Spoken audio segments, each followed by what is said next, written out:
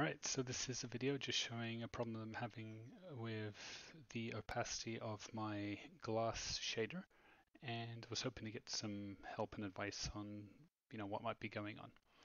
So basically I have, uh, so this right here is a ceiling fan that I'm working on and I've applied a glass shader to sort of the bell uh, parts of the ceiling fan and I have my bulb right here, which has a basic material applied to it.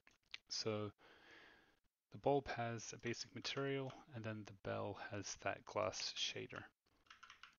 And if I'm looking at uh, in this window right here, then if I turn my transparency down to zero, I can see through the sphere and see like the skybox behind.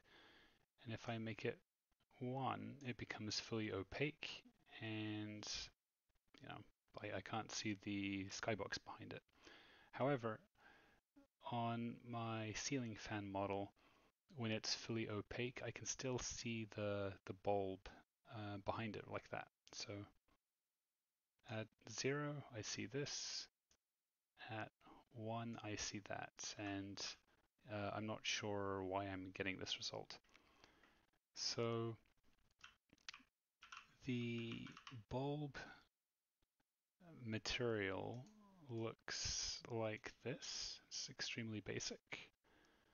And blend mode is opaque. And then for my glass material, that's more complicated. It's something that I'm just sort of building out right now. Um, this is what my color section looks like. These are the base parameters, and the thing that's relevant here is the opacity. So I have an inner and outer opacity being blended together and controlled by Fresnel. And the exponent is controlled by this parameter here.